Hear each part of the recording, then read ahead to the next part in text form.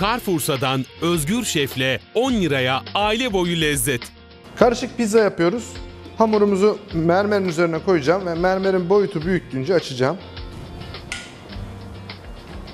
Diğer tarafta şöyle malzemelerimize göz atarsak pizza hamuru, sucuk, kaşar rendesi ya da mozzarella rendesi daha iyi olacaktır. Füme et, isterseniz isteğe göre sebze, soğan, fesleğen gibi şeyler de koyabilirsiniz.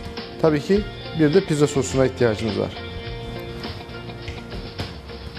Mermerimizin üstüne pizza hamurumuzu açtık.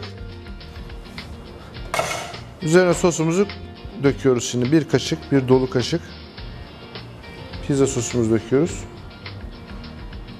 Mermeri kullanmamızın nedeni birincisi üzerinde hamuru açmak çok daha kolay. İkincisi mermerimizle birlikte fırına atacağız pizzamızı. Mermerimiz ısınacak, altının daha iyi pişmesini, daha çıtır çıtır olmasını sağlayacak.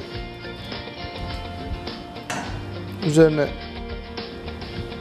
rende mozzarella veyahut da kaşarımızı döküyoruz.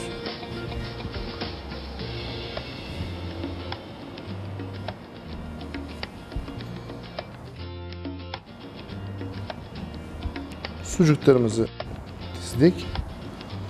İki dilim de füme et. Üzerine ilave edip 180 derece fırında 15 dakika pişiriyoruz. Pizzamız hazır. Artık çıkartabiliriz. Evet. Fırından mermeriyle çıkartıyoruz.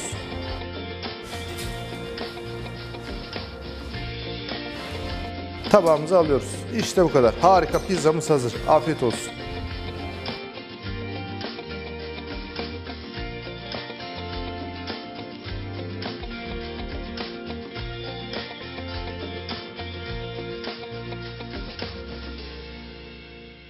Hesaplı lezzetler ve yeni tarifler için bizi takip etmeye devam edin.